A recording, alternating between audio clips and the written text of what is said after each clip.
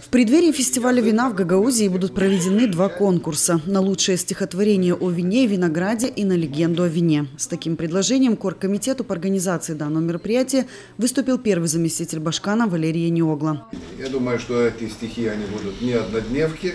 В любом случае, какие бы они ни были, я думаю, что мы напечатаем их на сайтах, чтобы люди потом посмотрели, даже после этого праздника, чтобы продолжали оценивать.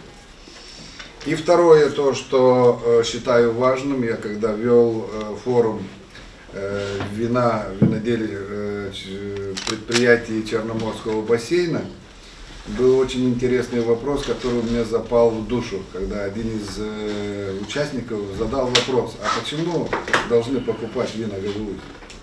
Казалось бы, очень простой вопрос, вот, потому что качество-то сегодня у всех как бы нормально, есть технология, есть процессы, которые идут.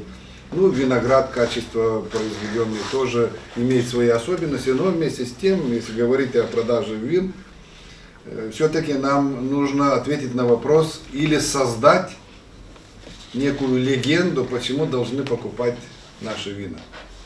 Поэтому я так предлагаю, чтобы мы с вами приняли решение и объявили второй конкурс. Организация конкурса на лучший стих о вине и винограде поручена Управлению культуры Гагаузии. Будет создан экспертный совет, который разработает критерии отбора работ. В конкурсе могут принять участие все желающие, кто пишет в стихотворной форме. Произведения могут быть написаны на любом языке по усмотрению автора. Цель конкурса – воспеть оду винограду и продукту его производства – вину, как напитку богов, ставшему глубоко почитаемой традицией у гагаузского народа и неотъемлемой частью его культуры. Конкурс на легенду о вине будет курировать Управление сельского хозяйства Гагаузии. Лучшее изложение предания об этом напитке будет призвано повысить интерес к гагаузскому вину у потенциального потребителя. А конкурсные работы, которые получат призовые места, будут звучать со сцены в день фестиваля вина во время обхода подворий гостями праздника.